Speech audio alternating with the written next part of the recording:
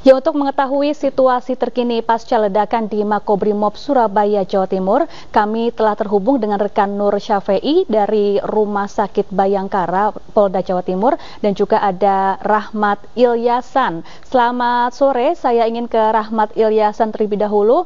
Uh, Rahmat, saat ini bagaimana kondisi di lokasi pasca ledakan? Baik, selamat sore Safa. Ya, saat ini Safa saya masih berada di Rumah Sakit Bayangkara Polda Jawa Timur di kawasan Jalan Ahmad Yani Surabaya.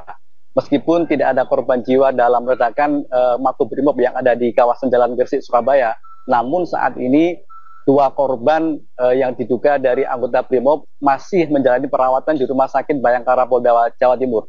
Dari pandangan kami yang ada di di rumah sakit bahwasanya awalnya uh, dua ambulan yang datang adalah uh, ambulan dari Brimob yang membawa satu orang dan juga ambulan dari uh, Polresta Tanjung Perak Surabaya di mana ambulan yang membawa uh, pasukan Brimob yang ada di ambulan di ambulan uh, tidak tidak lukanya tidak terlalu berat hanya uh, luka ringan uh, karena uh, saat masuk uh, rumah sakit rumah sakit Bayangkara Polda Jawa Timur dia hanya berjalan kaki menuju uh, ruangan ada yang ada di Polda Jawa Timur. Kemudian yang kedua, korban adalah yang dibawa oleh ambulan dari Polresta Tanjung Perak Surabaya ditandu dengan uh, adanya kursi dorong dan juga dibawa ke rumah sakit uh, Bayangkara Polda Jawa Timur untuk menjalankan uh, perawatan intensif. Demikian, Safa. Baik, jadi Rahmat dipastikan ada dua korban luka akibat ledakan dan kondisinya tidak begitu parah ya Rahmat dan hingga kini apakah masih dirawat di Rumah Sakit Bayangkara atau sudah bisa diperbolehkan pulang ke rumah masing-masing? Baik Safa, sejauh ini dari pandangan kami yang ada di Rumah Sakit Bayangkara Polda Jawa Timur, uh, kedua korban ini hanya luka ringan. Yang satu tidak uh, ditandu di, di bawah di tempat tidur, namun yang satunya di bawah uh, pakai tandu yang kemudian dibawa ke Rumah Sakit Bayangkara Polda Jawa Timur dan saat ini masih menjalankan proses uh, penyembuhan dan menurut kami yang ada di lapangan uh, tidak ada uh, perwira pun yang saat ini memberi keterangan siapa siapa uh, korban dari ledakan yang ada di Makobrimob uh, di kawasan Jalan Gresik Surabaya. Demikian Safa. Baik, saat peristiwa terjadi uh, di mana kedua korban ini berada?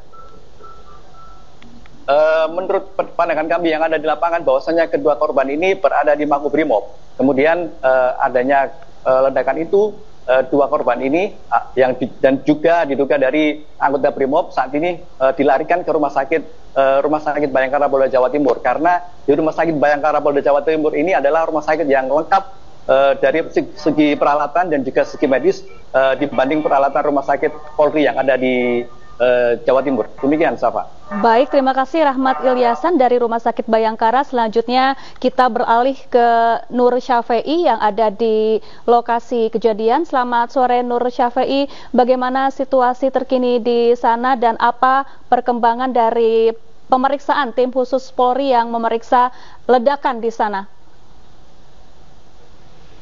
Ya, selamat sore Safa dan pemirsa. Uh, saya sekarang berada di uh, Mako Detasemen Gegana Polda Jatim, Jalan Gresik, Surabaya. Uh, pasca kejadian, tim lapor dari Polda Jatim uh, melakukan olah TKP uh, dari tim lapor Polda Jatim dan saat ini uh, Kapolda Jatim Irjen Pol Imam Sugianto sekarang uh, lagi mengecek uh, lokasi kejadian tepatnya di gudang penyimpanan uh, yang diduga mortir meledak tersebut. Hingga saat ini kita masih belum dapat statement dari Bapak Kapolda Jatim karena saat ini masih melakukan pengecekan uh, di lokasi kejadian. Berikut siapa? Baik, baik Nurul Syafai. Jadi uh, hari ini atau sore hari ini apakah olah TKP masih berlangsung di sana? Saat ini olah TKP sudah selesai sekitar pukul uh, eh, 3 sore tadi. Namun saat ini ada Bapak Kapolda Jatim yang ada di lokasi kejadian, namun kita tidak diperkenankan untuk mengambil gambar. Uh, sekaligus di sini kondisinya hujan deras, jadi sekarang uh, para awak media sekarang lagi uh, apa, berteduh di tempat ini Polda apa Gega Brimob Polda Jatim ini menunggu statement dari Bapak Kapolda Jatim yang meninjau lokasi. Hingga saat ini masih belum keluar. Berikut Safa. Baik, Baik, terima kasih Nur Syafei langsung dari Mako Brimopolda Jawa Timur. Sebelumnya tadi ada Rahmat Ilyasan dari Rumah Sakit Bayangkara Surabaya dan selamat bertugas kembali rekan-rekan.